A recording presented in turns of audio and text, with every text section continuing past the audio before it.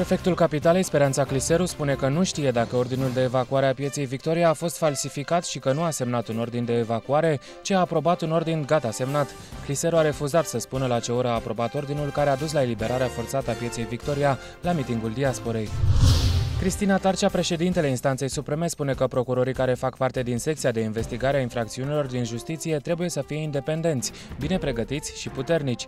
CSM a aprobat săptămâna trecută regulamentul de organizare a secției care va investiga pe magistrați. Drumare intervin azi cu utilaje și material antiderapant pe Transfăgărășan, după ce în zona a nins toată noaptea, iar stratul de zăpadă depășește 10 cm. Se intervine și pe Transalpina, unde circulația va fi restricționată. Administrația Națională de Meteorologie avertizează că vremea va fi rece până joi dimineața. În Muntenia și Oltenia sunt așteptate minime sub 0 grade. Ziua în toată țara temperaturile vor scădea cu 8 grade față de cele normale pentru sfârșitul lunii septembrie.